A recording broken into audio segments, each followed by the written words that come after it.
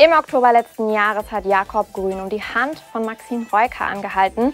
Die Hochzeit rückt immer näher und jetzt auch ein Must-Have für die beiden, nämlich ein Ehevertrag. Also der Ehevertrag tritt dann erst in Kraft, wenn man sich halt scheiden lässt. Und das ist für uns einfach nur so ein rein erwachsenes, vorsorgliches Ding. Wir gehen natürlich beide davon aus, dass der niemals in Kraft treten wird. Ähm, aber wenn halt irgendwas jemals passieren sollte, dann hat man es einfach vorher geregelt und das finde ich sehr vernünftig.